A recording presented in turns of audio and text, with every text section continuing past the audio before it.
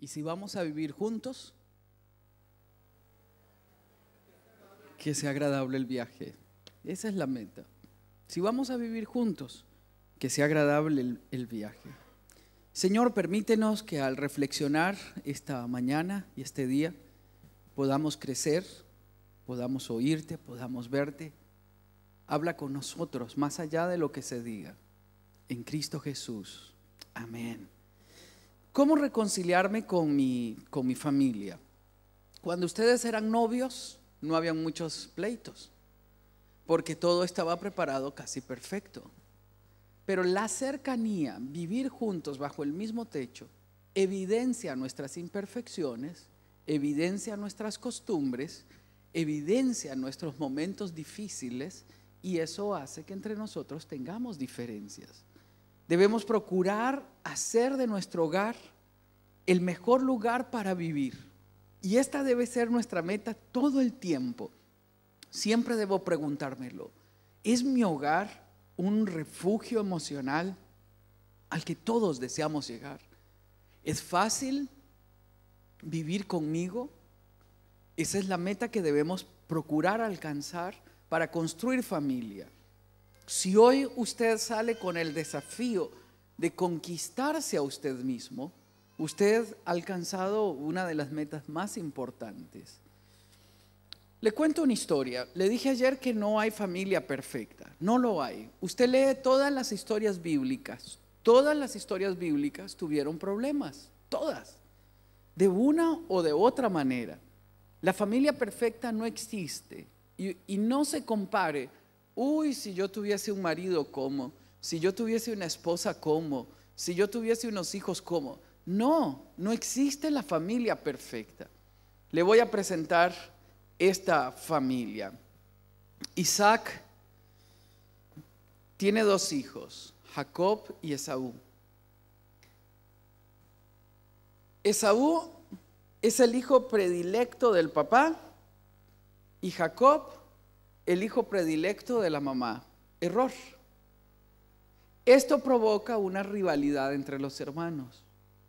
Usted puede encontrar esta historia ya en Génesis 26 y 27, donde a partir de esta, de esta preferencia, la mamá quiere que la bendición venga sobre su hijo favorito y el papá quiere bendecir a su primogénito. La mamá planea el engaño y involucra a su hijo en este engaño, que es robarle la bendición al, hermano mayor. Claro, la mamá luego se quita, se quita la responsabilidad diciendo, por lo que hiciste tu hermano quiere matarte, por lo que hiciste, imagínense, ella lo planeó. Usted puede leer la historia eh, después. En Génesis 27, 41 dice, a partir de ese momento, Esaú guardó profundo rencor a su hermano por causa de la bendición que le había dado su padre. Un rencor profundo. El rencor conduce a deseos. Ve el deseo que produce el rencor. Y pensaba, ya falta poco para que mi padre se muera. Después de eso, vea a dónde condujo el rencor. Después de eso, mataré a mi hermano? ¿Puede el rencor conducirme a mí a ese nivel de odio y de resentimiento? Sí. ¿Puede conducirme al deseo de venganza? Sí. ¿Qué hizo Jacob? Se fue lejos de casa. Casi 30 años. Lejos. Y la familia estuvo disgregada, fraccionada, herida. Los padres lloraban. ¿Qué pasó? ¿Por qué pasó? Claro, de todo Dios saca provecho. Ve el camino que nos muestra Jesús. Juan 15, 9 al 12. Así como el Padre me ha amado a mí, vamos a tenerlo ahí en la pantalla, pero usted puede irlo anotando. También se me olvidó decir ayer, espero puedan, traje algunos materiales conferencias en diferentes temas que espero puedan disfrutarlo y regalarlo a otro. El proyecto La Verdad, creo, que quedan solo tres, Son siete DVDs con 12 horas de enseñanza bíblica sobre la cosmovisión cristiana. Esto es para líderes, para gente pensante que le gusta analizar y, poner un buen fundamento. Si usted quiere poner un buen fundamento, hágalo. Si, si, adquiere el material, me escribe un email a sixto y yo le mando el PDF con, con, el manual para que usted pueda llevarlo. Traje también, Dios provee el, dos DVDs con las, las seis películas y el manual. Espero que puedan hacerlo. Me di cuenta que la iglesia lo está haciendo. Bueno, pues ahora ya puede tener el DVD. Hágalo con su grupo. Lo que hacemos en la iglesia y en estos seminarios es compartir principios para que usted los enseñe.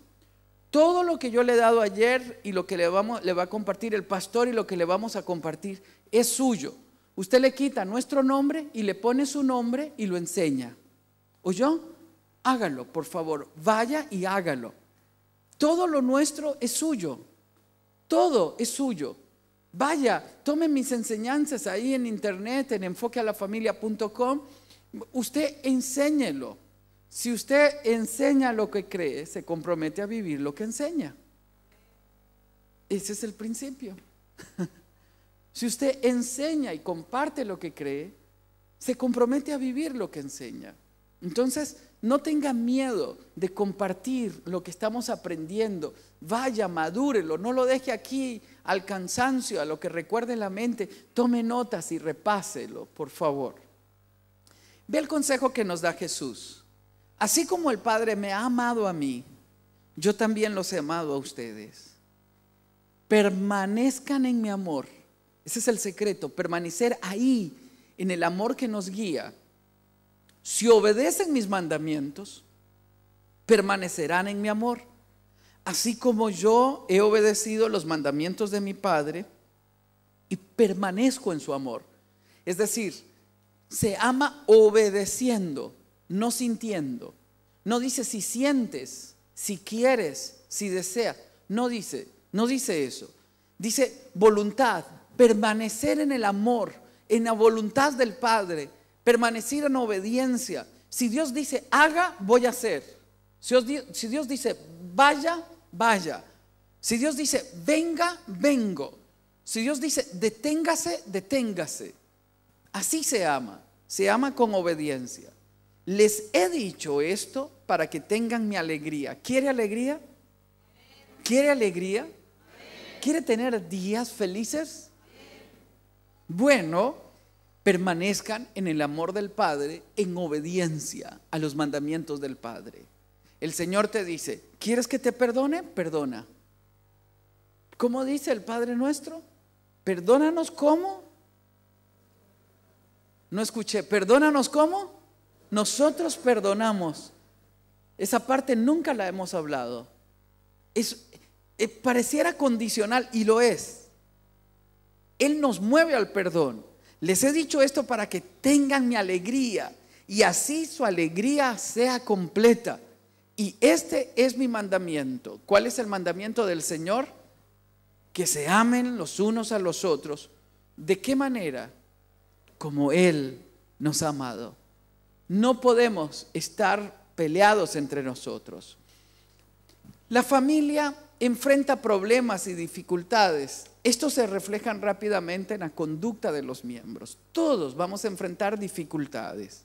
En el núcleo familiar nunca podremos estar todos de acuerdo 100% en todo. Nunca vamos a estar de acuerdo. Nunca. Nunca vamos a estar de acuerdo. Siempre hay diferentes ópticas, siempre hay diferentes estados de ánimo. Ella es mujer, él es hombre. Ella dice, eh, un sábado se levantan los dos, vamos de paseo, qué lindo mi amor, vamos de paseo, qué bueno. Ella lava la ropa, tiende la ropa, hay tendido aquí, ¿no? Para tender la ropa, que se seque al sol, él va a limpiar el auto, ella prepara los emparedados y prepara la, la carne que van a ir a asar y de repente ya le dice a él, amor, por favor, mete la ropa por si llueve, llueve para que no se moje. Entonces el caballero va feliz, agarra la ropa, la hace un puño, la pone en el sillón y de repente ella entra y se pone a llorar. pero ¿por qué lloras? mi amor, te dije que por favor metieras la ropa. Mira lo que has hecho. Pues yo la metí. Ya no se moja. No, pero no me amas. Yo he trabajado toda la mañana, me he esforzado y mira lo que has hecho. Pero ¿qué he hecho? Dice él. Yo metí la ropa. Ella dice, no, eso no es meter la ropa. Meter la ropa es doblarla, clasificarla y ponerla en el closet. ¿Cómo no van a haber problemas si ella ve de una forma y él ve de otra forma? Ella dice, y él dice ahora, ¿y ahora por qué llora? Él no entiende por qué ella llora y ella no entiende por qué es tan bruto. No es porque él es bruto, es que él es literal. Y ella es general. No general de general, porque ese sería matriarcado. No podemos estar de acuerdo siempre. Las diferencias producen distanciamiento. Nos habituamos a tenernos, nos acostumbramos a tenernos y eso hace que nos desvaloricemos entre nosotros. Se llama la fuerza de la costumbre. Me acostumbré a tenerle, me acostumbré a verle y dejé de valorarle. La cercanía va a producir roces normales. No sabemos manejar las diferencias en nuestra convivencia. Al no saber manejar las diferencias, al acostumbrarnos a tenernos, bajamos la guardia en el nivel de respeto entre nosotros. Porque creemos que estamos seguros.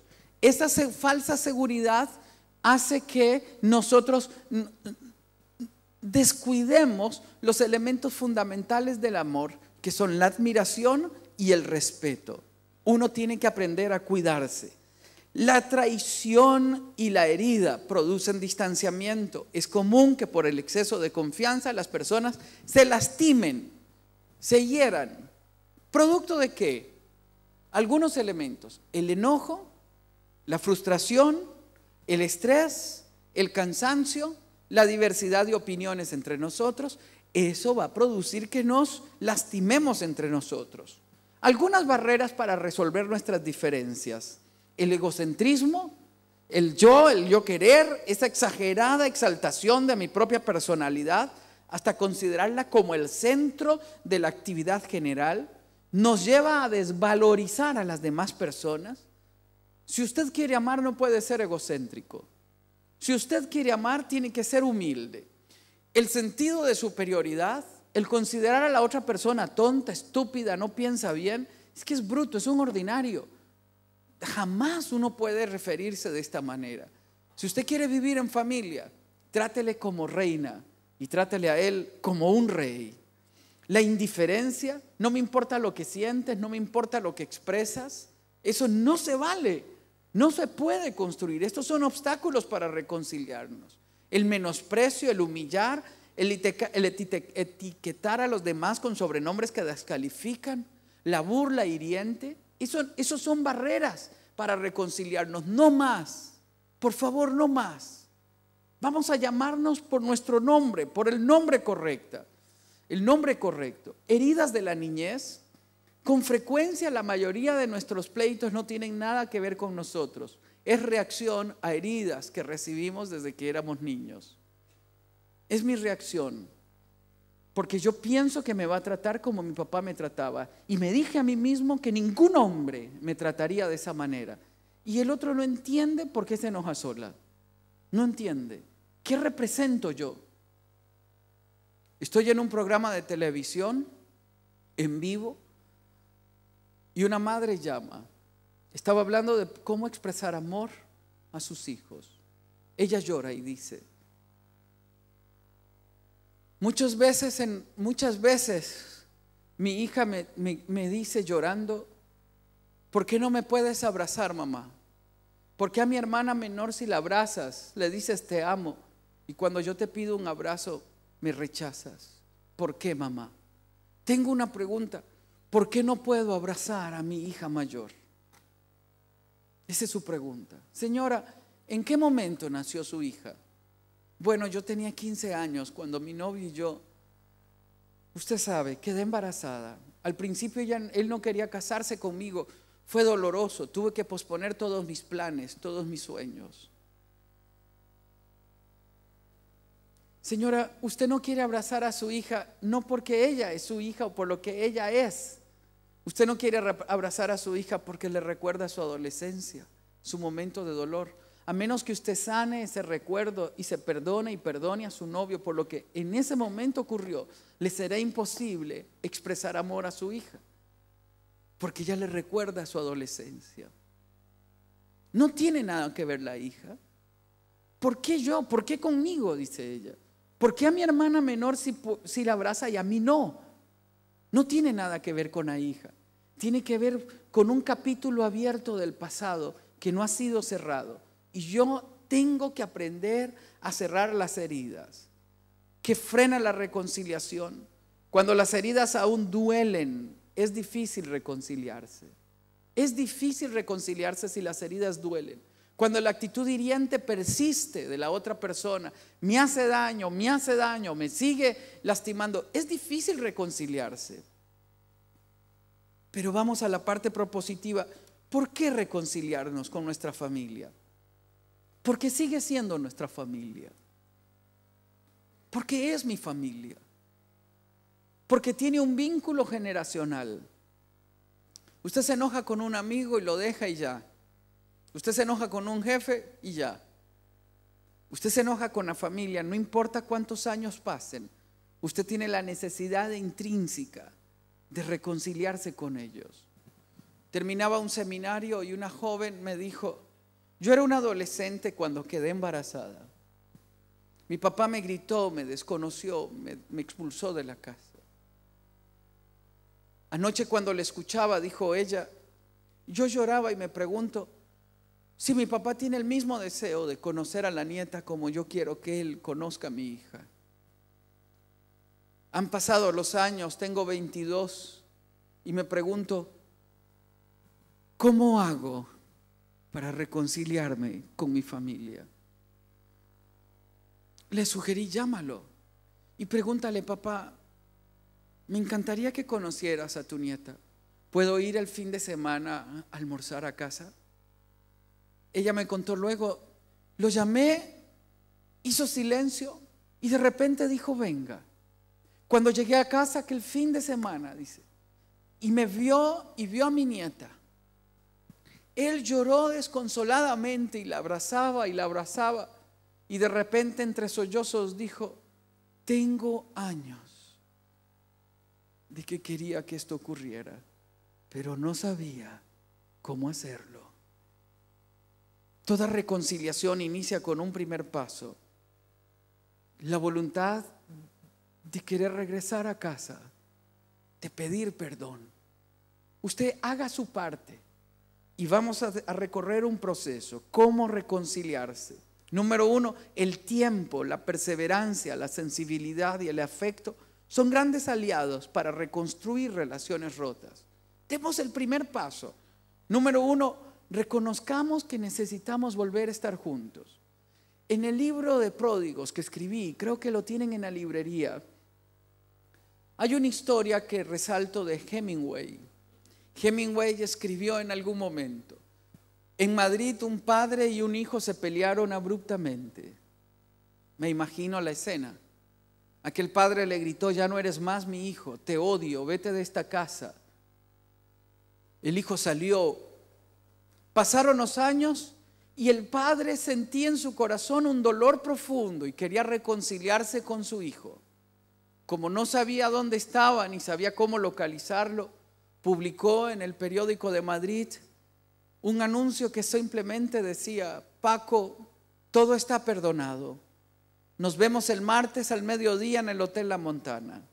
El martes al mediodía en el Hotel La Montana estaba lleno de jóvenes llamados Paco. ¿Sabe por qué? Porque en el fondo todos los Pacos añoran volver a casa, pero necesitan saber que todo está perdonado. Dese la oportunidad de recorrer el camino. Necesitamos reconciliarnos. no más, no más. Debemos permitir que la persona se sienta escuchada a la hora de reconciliarnos. Escuche, no juzgue, escuche. Escuche el corazón, escuche lo que interpreta. Regresaba de un viaje y dos o tres días después tenía que salir nuevamente. Estaba cansado, agotado. Quería regresar a casa, estar en casa. Íbamos en el auto. Helen me dice, te extraño. Yo le digo, mi amor, no puedes decirme eso, me mata. Yo también te extraño. Me dice, no, no, me dice, no te lo estoy reclamando. Solo quiero decirte que porque te amo, te extraño. Pido a Dios que renueve tus fuerzas. Estaremos bien, mi vida. Solo quería decirte, te extraño. Yo detuve el, auto, la abracé, hice ajustes en en mi agenda para pasar más tiempo en casa. Tomé medidas para pasar más tiempo en casa. ¿Sabe por qué la abracé? Porque me lo explicó. Me explicó lo que ella quería decirme. No, no me dejó herido se detuvo, me explicó, me dijo, no te estoy reclamando, yo sé que tienes que salir a trabajar, me siento feliz, pero quiero decirte que porque te amo te extraño. Tenemos que aprender a escucharnos, escuche. No siempre tienen que tener la razón. ¿De qué color pintamos? Rojo, azul. ¿Qué importa de qué color pintamos? Que ella elija, no ve que ella siempre tiene mejor gusto que uno. ¿Qué tiene eso de malo? Escúchela. Estábamos construyendo nuestra casa y el constructor contrató a alguien que no sabía pegar cerámicas, entonces parecía una carretera con curvas. El constructor nos llama y dijo, la cerámica está mala, tiene un defecto de fábrica. Dijo Helen, no, yo compré la más cara y no está mala. Dice el constructor, pero pueden poner una alfombra encima. Dice Helen, pero yo no compré una cerámica cara para ponerle una alfombra encima. Entonces hace lo que siempre hacen las damas, llorar. Entonces yo estoy frente al constructor y frente a mi esposa. Llevo a Helen a un lado y me dice, tú no me estás respaldando. Pero mi amor, si no está tan malo, te dije, no me estás respaldando. En ese momento yo tengo que escuchar. A mí no me significa nada que la cerámica esté así. ¿Qué me importa a mí? Le pongo una alfombra y ya está. Pero yo tengo que escuchar su corazón. Entonces vengo y repaso el manual de lo que significa la casa para la esposa. La casa para la esposa es una extensión de su personalidad. La casa para el esposo es un lugar donde se quita los zapatos y duerme. El esposo puede vivir en cualquier lugar, no, no importa. Mientras hay un tele, todo está bien. Y una buena cama. Si la casa es una extensión de su personalidad, yo tengo que escuchar su corazón. Yo no quiero que cada día ella, cada vez que va a entrar a la casa, diga por qué no quité la cerámica. Yo no quiero eso. Yo quiero que cuando ella entre a casa, se sienta alegre de que hicimos lo correcto. Le miré, le abracé y le pedí perdón. Y le dije, tienes razón. Y le dije al constructor, ¿sabe qué? Hay que quitarla, hay que ponerla de nuevo hasta que quede bien. El constructor se va, ni me acuerdo de su nombre, pero Helen sigue viviendo conmigo. Escuche el corazón de su cónyuge. Esta esposa le reclama al marido, que está trabajando demasiado. Si ya no estás en casa, nos has abandonado, le comenzó a reclamar y a gritar. El marido hizo silencio y de repente le baja una lágrima y le dijo, te voy a explicar algo. La empresa está en quiebra. Yo no quería decírtelo. Si no me ayudas, lo perdemos todo. Ella lo abraza y desde ese día caminan juntos, porque ella escuchó el corazón de su marido, lo escuchó. Escuche, Escuche el silencio. ¿Qué quiere decirme? Cuando uno escucha tiene identificación. Escuche, por favor, escuche. Esto comienza a ayudarnos a reconciliarnos. Propiciamos la confianza y la seguridad de que esta relación es para siempre. Vamos a que podemos expresar desacuerdos, que no tiene nada malo de que pienses diferente a mí, no tiene nada malo. Dígale, mi amor, tienes la libertad de pensar diferente a mí. Dímelo. Por favor, no tiene nada malo. Es rico pensar diferente. Usted enriquece su criterio. Yo hago un proceso de razonamiento donde me doy la licencia de decir, ¿y si Helen tiene la razón? ¿Y si ella está viendo algo que yo no estoy viendo? Eso nos mueve a dialogar entre nosotros. Tenga un lugar, un lugar especial para charlar con su cónyuge. El siguiente principio que nos ayuda a resolver nuestra diferencia es garanticen que en las buenas y en las malas estaremos juntos y que esta relación es para siempre. Que nada ni nadie hará separación entre nosotros dos. Garantícelo. En el nombre del Señor, garantícelo. En las buenas y en las malas estaremos juntos. Nada ni nadie hará separación entre nosotros dos. Y jamás utilizaré la frase manipuladora de me voy. Eso es manipulación, es bajeza. Y solo lo usan los cobardes. Eso estuvo bueno.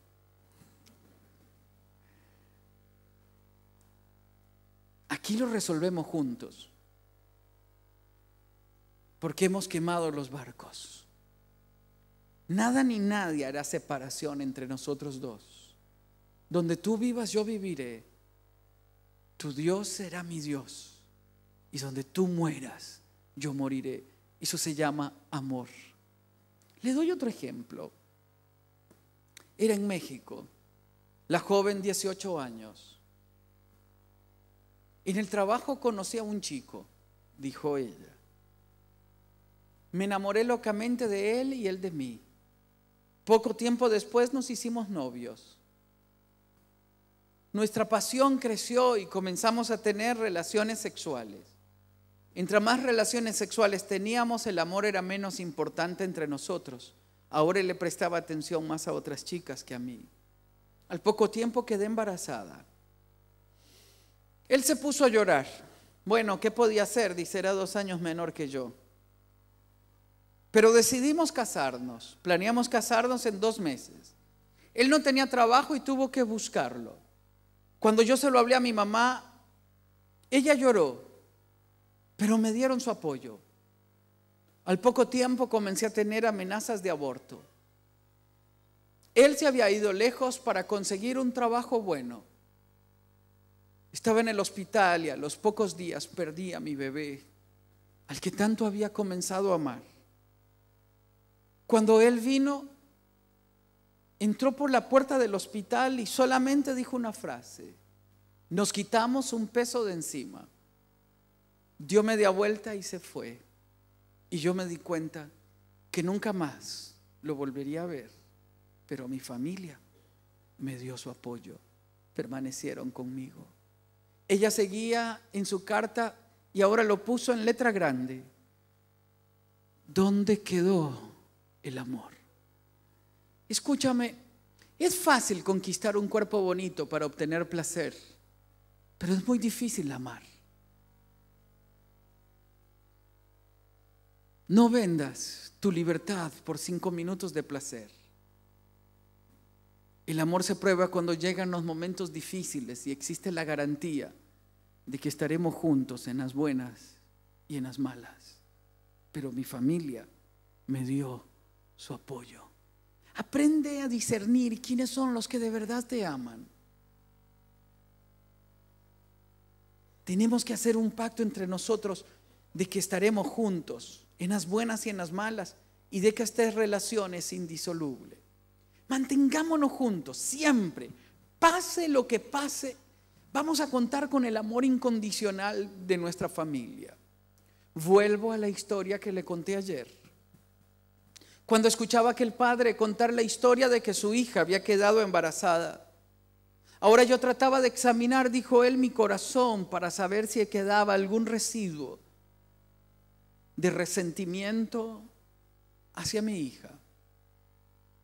Casi a punto de terminar su carrera profesional, había sido amada, educada en iglesia.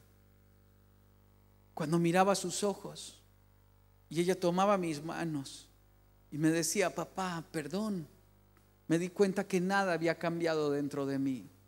Más bien mi amor crecía hacia ella. El amor no se condiciona a que se porte bien, a que haga lo que yo quiero. El amor es incondicional en todos los momentos. Me fascina Pablo que la última carta, en lugar de escribirla a la iglesia más grande, le escribe a su hijo amado, su hijo adoptivo, Timoteo. Y comienza diciendo, en lugar de decir la frase más célebre que había dicho durante toda la vida, lo único que dice es, Timoteo, aún recuerdo tus lágrimas y tu fe. Abrace, exprese afecto. Lo que Pablo estaba diciendo, recuerdo cuando llegabas confundido y te ofrecía mi hombro para que lloraras. No hay nada más hermoso que uno recuerde con el tiempo que sino las expresiones de afecto. El día que lloré en sus hombros. Varias veces he llegado a casa eh, preocupado por algo y Helen me dice, ¿quieres hablar? No, mi amor, solo préstame tu pecho para estar ahí en silencio. Y me recuesto en su pecho. No quiero hablar. Vendrá su momento de hablar. Qué rico es el abrazo de aquel que te ama y te ofrece su hombro solo para llorar o simplemente te escucha. En estos días, el miembro más pequeño de la familia, el perro, estaba a punto de morir, porque tiene en años humanos como 88 años, como 14 años tiene ya Bobby. Era un luto en la casa. Si usted me dice, ¿comprende usted el luto? No, es un perro. Pero mis hijos y Helen no solo lloraban, sino oraban.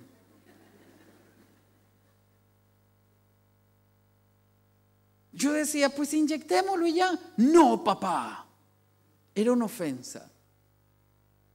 No es fácil entender los sentimientos de la persona que amas. Ya habían decidido en qué parte del patio lo iban a enterrar. Yo dije en una esquina, ellos dijeron en el centro. Casi le iban a poner una foto. Pues el perro se recuperó.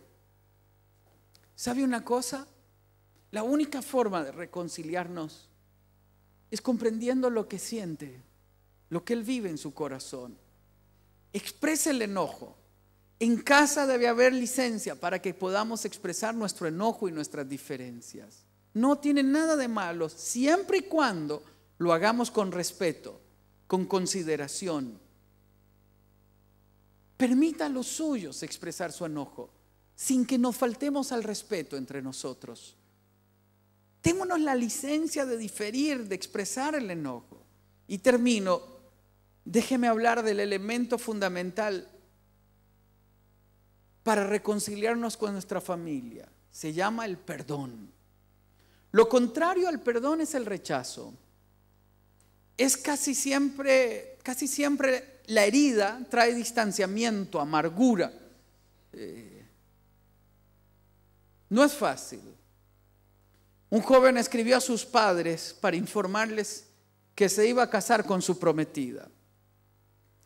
Con su consentimiento o sin el consentimiento de los padres. Puede ser que este joven haya sido bastante terco e insensible. Pero escuche lo que los padres contestaron en una, carta, que le escribieron. No te preocupes de invitarnos a la boda nosotros ya no tenemos hijo. Yo dije, cuando yo leí eso, yo dije, no, jamás uno puede expresar cosas que sean difíciles borrar después. Tenga cuidado, tenga cuidado, tenga cuidado cuando lo, cómo habla bajo el efecto del enojo, de la frustración, de la herida. Tenga cuidado. Usted puede amar el 99% del tiempo haberse portado gentilmente, haber honrado gentilmente, pero un día, bajo el efecto del enojo, dijo algo que hirió el corazón de la otra persona. Veinte años después, ¿qué se recuerda? El 99%, ¿qué se recuerda? Dígame usted. Ese día. Proverbios dice que la, lengua tiene poder para dar vida o para producir muerte. Tenga cuidado porque el que la ama comerá de sus frutos. Sin perdón morimos lentamente. Con Él, aun cuando los recuerdos estén en nuestra mente, al menos podremos empezar a mirar el mañana con esperanza. Le doy dos definiciones de perdón. Perdón es renunciar al derecho de herirte porque me has herido. El perdón no es un favor que yo le hago a alguien más. Porque si fuese así, entonces argumentamos diciendo, si no viene de rodillas, me pide perdón, no perdono a ese desgraciado. Aunque no venga de rodillas, aunque nunca cambie, aunque nunca pida perdón, yo necesito perdonarlo porque el perdón no es un favor que yo le hago a otra persona, el perdón es una libertad que yo necesito. La única víctima con la falta de perdón es usted. Daba una conferencia en Bruselas, Bélgica, a un grupo de hispanos. Y una joven linda de unos 15, 16 años se sienta, se sienta frente a mí en el almuerzo. De bella presencia, pero de rostro duro. Y yo queriendo entablar conversación con esta bella chica y de rostro duro le digo, ¿y quién le robó a usted? ¿Qué? Que quién le robó la alegría. Ella me mira y dijo, tenía nueve años cuando se fue de casa. No le importa si tenemos qué comer o dónde vivir. Me dije que lo odiaría el resto de mi vida. La siguiente pregunta era, ¿Y en qué momento usted tiene el derecho de construir su vida a partir de la libertad y no de los errores de los demás? ¿Sabe tu papá que lo odias tanto? No lo sé y no me importa.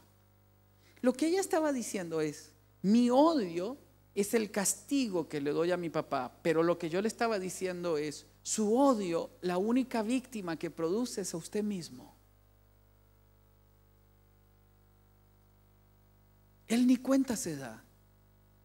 La falta de perdón a la única persona que hiere es a quien lo tiene. Muchas veces perdonar es difícil. Tal vez nos han tratado mal, nos han menospreciado, nos han abandonado, nos han descuidado, nos han abusado. Lo cierto es que debemos perdonar incluso cuando continúen hiriéndonos. ¿Por qué? Porque yo merezco libertad. El perdón debe darse a pesar de las heridas profundas, las esperanzas frustradas o las promesas rotas. Porque sin perdón no hay reconciliación, pero sobre todo, sin perdón no hay vida. Sin perdón no hay paz. Déjeme darle dos consecuencias de la falta de perdón. Número uno, escúchalo bien, quien no perdona está condenado a repetir la historia. Y lo que tanto odió un día se verá haciéndolo, porque vive como víctima. Número uno. Y número dos, la falta de perdón lo atrapa a usted en el pasado. Mi mamá era hija de un amante. Su mamá la regala a una tía. En su infancia la abusan. Se convierte en madre adolescente. Cuando mi mamá hablaba de su infancia decía, yo tenía que trabajar tanto y me explotaban como una esclava que muchas veces la única forma de descansar era pedirle a Dios que amaneciera enferma. Sus lágrimas brotaban y se notaban que eran pesadas. Pero se encuentra con Cristo. Cristo le enseña el arte de perdonar y comienza a bendecir. El perdón no es un sentimiento. Yo nunca he escuchado a alguien decir, ¿cómo siento perdonar? Nadie siente perdonar. Lo que uno siente es el deseo de que lo agarre un tren, lo despedace y un poquito más. Aún así, aunque el tren lo atrape, lo despedace, lo mate, no trae tranquilidad a mi alma. Porque la venganza no es la respuesta al perdón. El perdón es un ejercicio de la voluntad. Yo decido perdonar. Lo que quiero decirles, cada vez que venga el recuerdo que produce dolor, que abre la herida, ustedes digan en el nombre de Cristo Jesús, le perdono, le perdono en el nombre de Jesús y deseo que le vaya bien. Todavía al principio usted no se lo cree que eso sea real, que desee que le vaya bien. Pero con el tiempo el Espíritu Santo traerá una paz profunda a su corazón y su alma comenzará a experimentar libertad. Aunque el recuerdo de aquello está ahí, de repente la herida ya no sangra y entonces será la señal de que el perdón cumplió su misión, sanó la herida. Tenía 19 años y mi mamá me dijo, vamos a buscar a mi mamá. Yo le dije, mami, ¿no sabes dónde vive? Me dice, ya me averigüé. Ahora mi otra pregunta era, ¿y si la encuentras?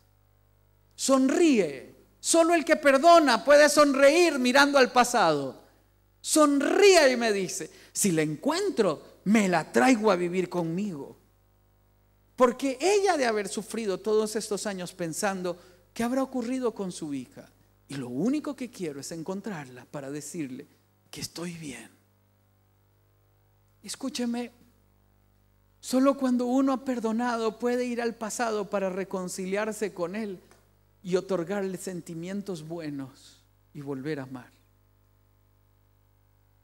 Conmigo no le encontró, le encontró con mi hermano. Pero yo quiero decirle algo. Yo soy lo que soy porque tuve una madre que se reconcilió con el pasado y educó a sus hijos a partir del perdón y de la libertad. Si mi mamá no hubiese, perdonado a la madre que la abandonó, al padre que los abandonó, yo sería una víctima más de una mujer herida. Usted tiene el derecho de levantarse y construir una nueva historia. El perdón no es fácil de comprender. Por lo general, estamos esperando sentir el deseo de otorgarlo. Y ante no sentir el deseo de otorgarlo, no perdonamos. Pero el perdón es una decisión sostenida en el tiempo. Se requiere voluntad, decisión, perseverancia, sostenerlo en el tiempo y un día este proceso dará su fruto. Yo podré encontrarme con aquella persona y no tendré que cruzar la acera, porque ahora recobré mi dignidad y mi libertad que la da la cruz de Cristo. Ante la ofensa, el perdón es la única forma de amar y restituir. Termino. El hijo menor le dijo, Padre, dame la parte de la herencia que me corresponde. Eso era una ofensa porque le estaba diciendo, muérete. Tú no me importas, me importa el dinero. El padre no se ofende, lo abraza y reparte la herencia al hijo mayor y al hijo menor. Este se va lejos. Lejos era donde no me controlen, donde no me pregunten dónde estoy, donde no me pregunten cómo gasté el dinero. Lejos era hacer lo que yo quiero, mi capricho. Y habiéndolo malgastado todo, termina cuidando cerdos. Y cuidando cerdos vuelve en sí. Y dijo, en la casa de mi padre los criados comen. Y yo tengo aquí hambre. Volvería a casa y le diría a mi padre, perdóname, pecado contra el cielo y contra ti.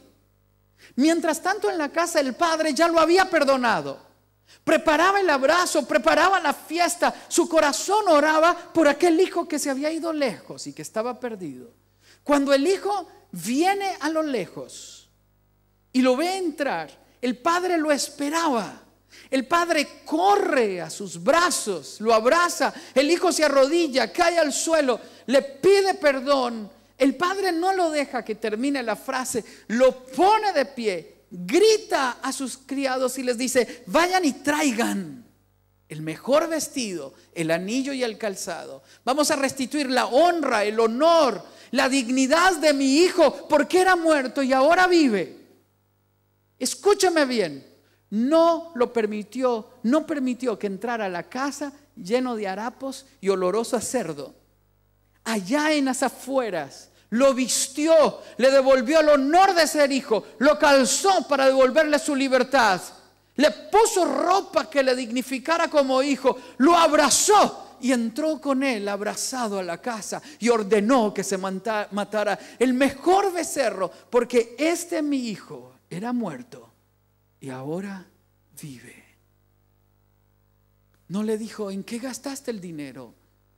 No le dijo, ¿por qué me hiciste esto? No le dijo, todo está perdonado. No me debes nada. Es la única forma de reconciliarnos. Cuando haya otorgado perdón, cuando mis brazos estén extendidos para abrazar y cuando mi corazón esté listo para amar. Esta hija bella que desde los 18 años entró al mundo del modelaje, un día atrapada por las luces y las cámaras, el dinero rápido en la, en la juventud, decide irse lejos de casa. El dolor inunda el corazón de sus padres y al llegar a los 33 años, hecho un harapo, envuelta en drogas, abusada por cientos de hombres, un día despierta y dijo, volveré a casa escribió un mensaje a su papá y le dijo, papá, lo he perdido todo. Si tú me recibes, volveré a casa. Subo en el tren de las tres. Si estás en la estación, entenderé que podré bajarme. Y si no estás en la estación, comprenderé que debo seguir mi camino. Lloró todo el camino y al dar la vuelta en la última curva para llegar a su pequeño pueblo, no solo vio a su padre, a su madre, y a todos sus amigos y a su familia con carteles grandes que decían, bienvenida a casa. Todo está perdonado.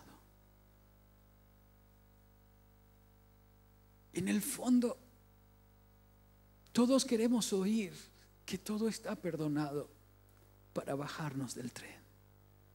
Cierre sus ojos. Padre, aquí estamos. Qué difícil es llevar la herida sobre nuestros hombros por el abandono de un padre, por el abuso de un tío, por la agresión desmedida de una madre herida. Qué difícil es estar distante de los míos. Qué difícil. Nos detenemos para decirte, decidimos voluntariamente perdonar a quienes nos han herido y dar el primer paso para reconciliarnos. Aquí estoy, Jesús. Aquí estamos. Para volver en sí. Ayúdenos a enviar señales de que todo está perdonado. Que podemos encontrarnos para comenzar de nuevo. Danos un corazón libre para volver a amar.